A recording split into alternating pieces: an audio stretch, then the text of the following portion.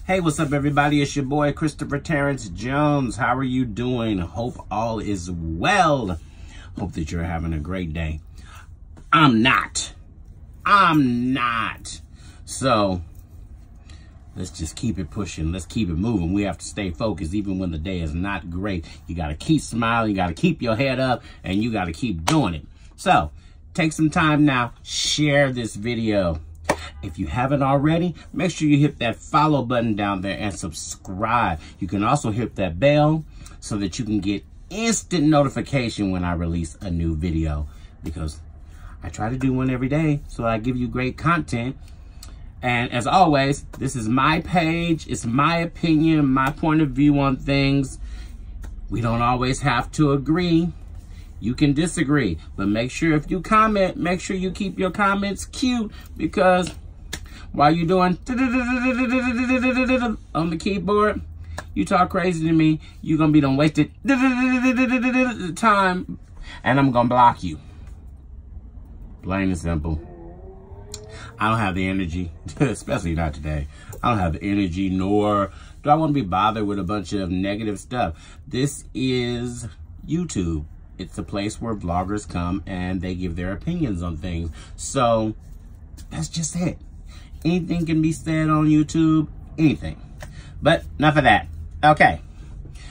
Um, I tried to let this one go and I did a post about it and I have to just, I have to revisit it. This Jess Hilarious, um, the Instagram comedian. I have to come back to this because I knew that there was an apology that she did on her Instagram. And let me say this, she has 4.4 million followers. That's a major platform, a major platform. And I, am just really stuck. And so I have to revisit this again and, and cause I have to get it off of me. I have to get it off.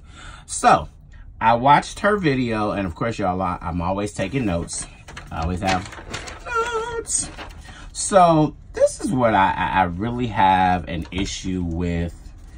And I really, let me just make sure. And I, I, I'm not trying to down her, but I need for somebody else who is growing a platform or going to, or already has a platform who watches this to understand what just happened and why I say this. So the first thing that she says she was choked up and she was bothered by the fact that people are thinking that she's a xenophobe or a racist.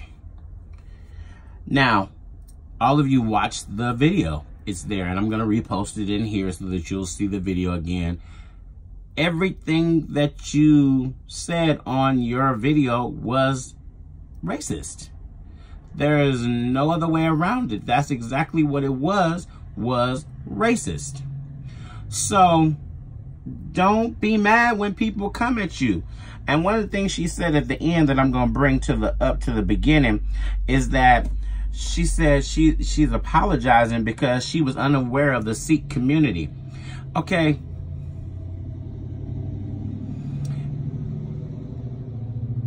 As a black woman, and this is what she brought up in here, she says she should empathize with people who are being racially profiled because as a black woman, she knows that all too well with the current climate of the country.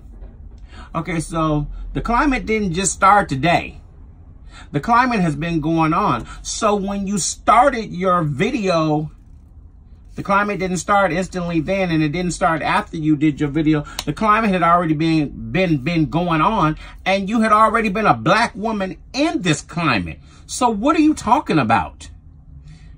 That now that you empathize with them and you feel in some kind of way and you said you didn't do this apology because you got called out, but because you offended a community that you didn't know anything about. Well, basically, it is that you got called out because they spoke out. So what part of not being called out? They called you out because you spoke about them. And yes, you were unaware of them, but in this day and age, you said that you're young and you're ignorant and you don't understand the platform that you have.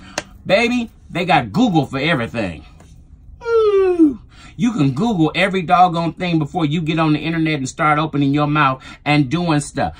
As a black woman, as a black woman, then if you empathize, then you shouldn't even be racially profiling nobody. That shouldn't have never, nothing racist shouldn't have ever exited your mouth, exited your tongue. It shouldn't have. You're too old. You're not a child. You're not 10 years old. You're not 13. You are old enough to know, as you stated, the climate of what the country is in right now. So I can't give you a pass for ignorance. So don't say I'm ignorant, I'm ignorant and I'm young and I don't know. Uh, that just, that don't sit with me. And it's, it's not right.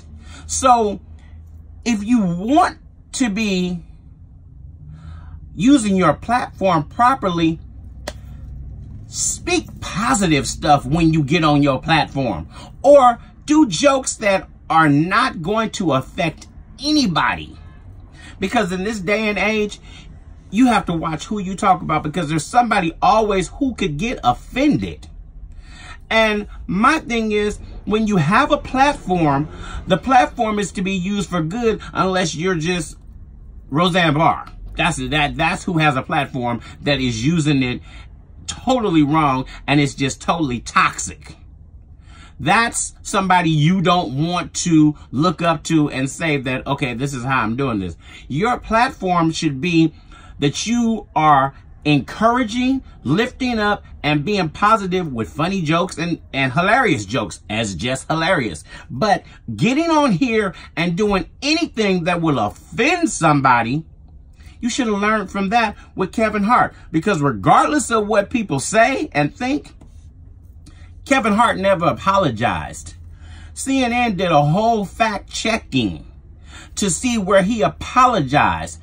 And Don Lemon got on there and said clearly, if you have apologized, Show me where it is. Show us the video because CNN went through a whole fact check and went back through all of the media and they could never find nothing. So what Kevin Hart did 5,000 years ago, because that's I'm just going to make it like it's 5,000 years ago, came back to haunt him today. So what you're doing right now didn't even take that long. What, it was two days? And you were in the hot seat? But see, my problem with this young lady is that every time that I have seen this woman, it's because of controversy. You did a homophobic slur against a man because he commented on something in the shade room. And you came at him with a racial derogatory slur. That was just unnecessary. There are so many clapbacks and the Shade Room is the king of showing you the clapbacks because everybody is in the clapback season. That's why I don't understand why people keep getting on people's pages and talking crazy because we are in the clapback season. I understand this is social media and I get that part.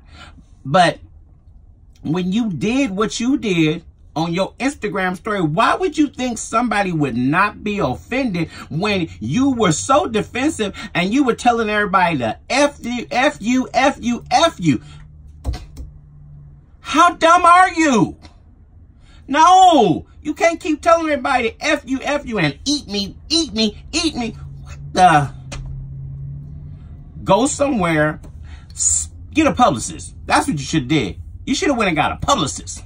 So somebody could tell you how to act when you have 4.4 million followers. Go talk to somebody else. Talk to somebody who has several followers because in this day and age with the media, anything can break you down and tear you down for no reason. And my thing is, I really believe, and I may just be wrong, and I don't know it for fact, but I think the only reason you really doing this apology now is because the TV show you on because even your, the rail, the young man that you're on, spoke against you on Twitter. Even him.